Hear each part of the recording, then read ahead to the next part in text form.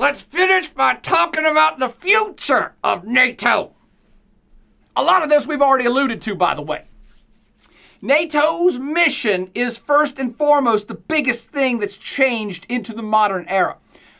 Again, the U.S. was always and has still been the coalition leader of this group, taking charge of killing commies.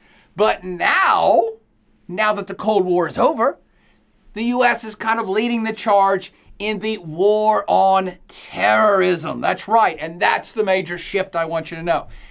There ain't no more commies. There's no ideological threat from that. It's been shifted to tackle the whole world terrorism issue. You can see this first and foremost in the current NATO Afghan campaign. And yes, I said NATO Afghan war. This is a NATO war. I know, I know, I know. That's very confusing to a lot of people in the world, probably in your country and even in Afghanistan, because everybody thinks it's a U.S. war. No, it's not. NATO war. Again, September 11th, 2001, U.S. attacked, goes to NATO and says, We've been attacked. The bad guys are in Afghanistan. Rally the troops. NATO did.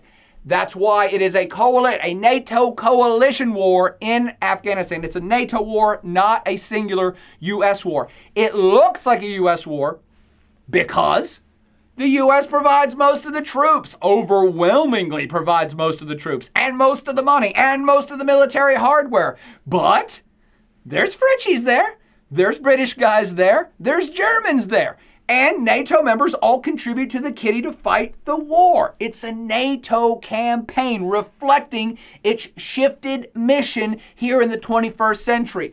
That's important to note, by the way, because that's a never ending mission. Now, NATO can go on in perpetuity because there's never going to be an end to the war on terror. And anytime a European country or the US or Canada, any NATO member, has a terrorist attack on their soil, you could make the case that we're going to start another NATO war if you can then go isolate where the people are that you want to go get. Huh? Huh? That's why it's important to understand this stuff. Uh, point two future of NATO. Uh, the increasing voice of Russia. Yeah. Is Russia working towards inclusion in NATO? I mean, Russia already is invited to the meetings. They actually have a kind of a sub meeting. Uh, there's yearly conferences, and actually, NATO heads get together even more than once a year. But there's one big meeting every year. NATO countries get together to talk about operations and stuff. And invariably, that day or the next day, there'll be a side meeting, a NATO Russia meeting. And that should make sense, by the way. Yes, they were the adversary of NATO during the Cold War, but the Cold War is done. And really, it's in NATO's best interest, the US's interest in particular, to not piss off the Ruskies, to not accidentally be having a NATO war training mission that you don't tell Russia about, that they don't know about, and you accidentally start World War III. So it makes a little bit of sense. And it actually was assumed just after the demise of the Soviet Union in 1991 that Russia might be invited to join outright. Think about it. Russia does have a lot in common with Team West.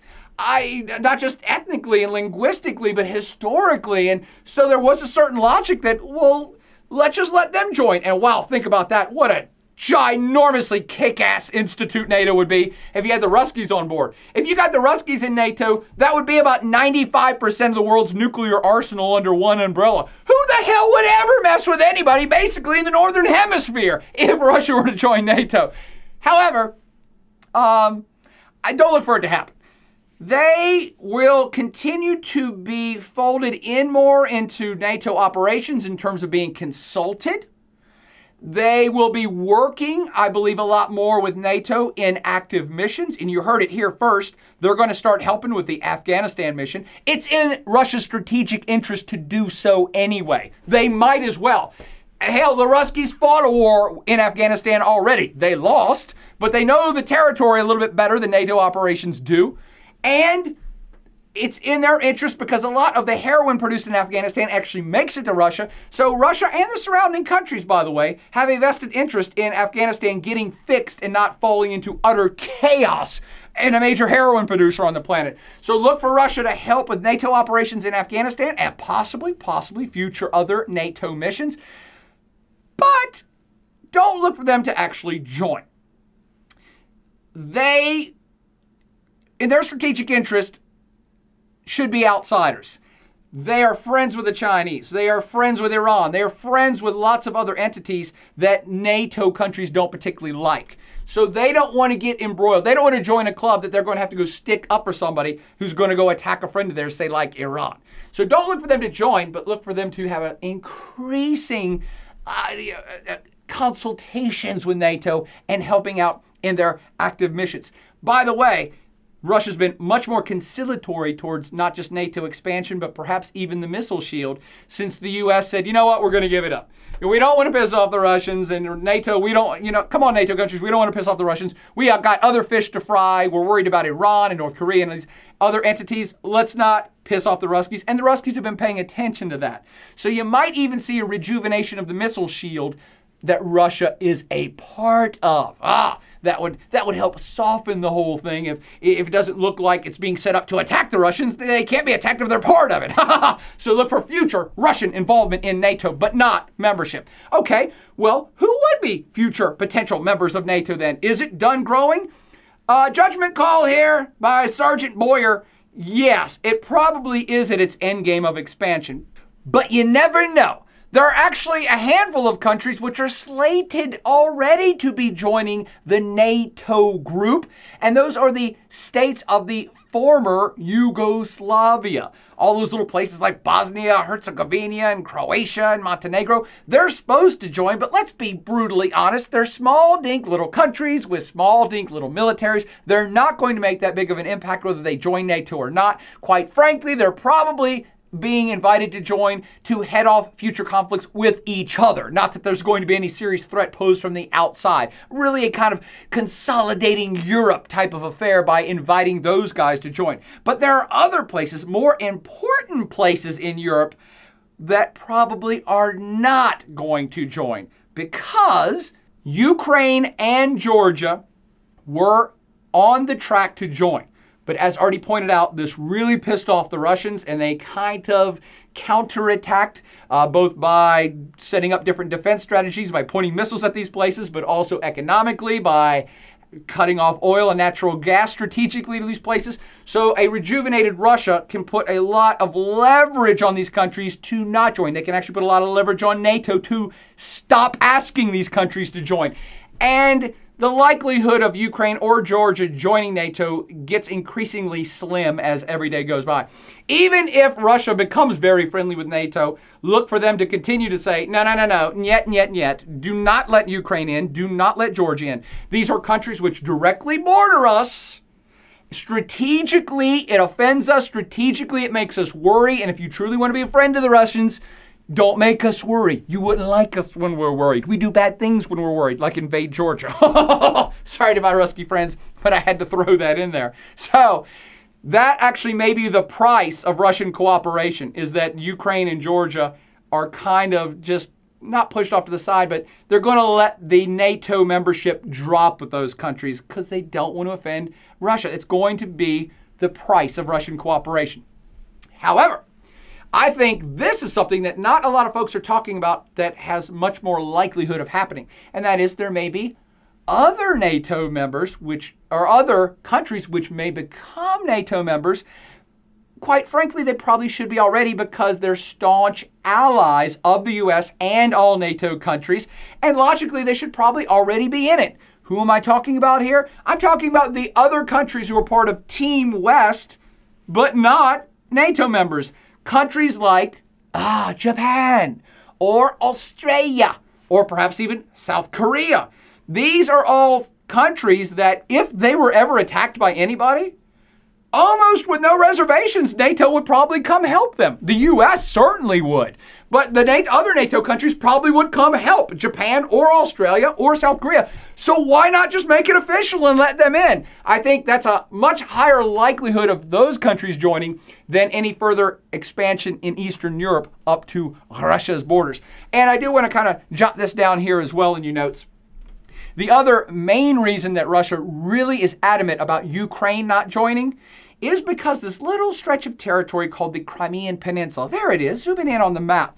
The Crimean Peninsula is a, of strategic interest to Russia in an extremely big way. Why? Because a big portion of Russia's naval services are located in the Crimean Peninsula. That's right, the Russian Navy is there. How could that be? How could the Russian Navy be in another sovereign state country named Ukraine? Because the Ukraine used to be part of the Soviet Union. It was the Ukrainian SSR, part of the USSR. So the, the naval uh, establishments, the naval ports, the naval facilities that were built up there were built up there during the Soviet era uh, by the Russians. And they had a strategic pact even when Ukraine became independent in 1991. They have leases on their naval facilities in that Black Sea uh, ports on the Crimean Peninsula that are of huge strategic value, and they're not going to let them go. How can they have part of their Russian Navy, a big part of it, in a country that would join NATO? The other team, the other side. It could never happen. That's why the Ruskies are so pissed. Every time it, it comes up about Ukrainian membership in NATO, they're not going to let that happen. Georgia, they've already invaded to kind of show you, hey, we're not going to let that happen either. The Ukraine might be a tinderbox where a war could break out if the NATO membership keeps getting pushed. All right? Ah, so now you know. Finally, what else may be going on with NATO? And this is another thing that a lot of strategists and military folks are starting to talk openly about. And I want you to be ahead of the curve as always. And that is, you probably are going to live to see a uh, European Union slash NATO incorporation.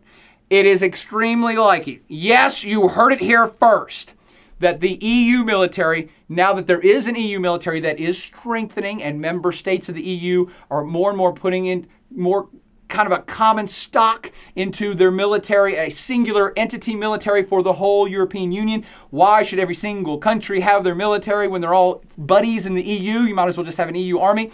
That has been working and that has been going forward and that has been growing. And there are already lots of leaders that have said, hey, guess what? Do the math here. All of the EU countries, or almost all of them, are NATO members. NATO is the most kick ass military organization on earth. Why do we have two entities doing the same thing? I mean, think about it. Why do they? It seems like a lot of redundancy. So the EU military may indeed just get completely folded into the NATO command superstructure, and perhaps that's for the best for everybody. They already have the structure and the organizations in place.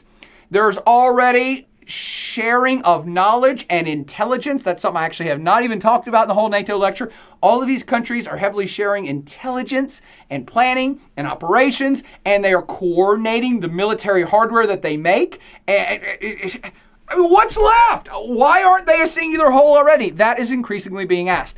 France, just in current events, uh, was incorporated back into the NATO command structure. France, for decades, wanted to go its own way. It thought the U.S. had too much power in Europe, and so France was a NATO member. But they said, but, but we refuse to come to the meetings, and you know we'll help out when we have to help out, but we're not going to be you know sitting at the table planning shit with you.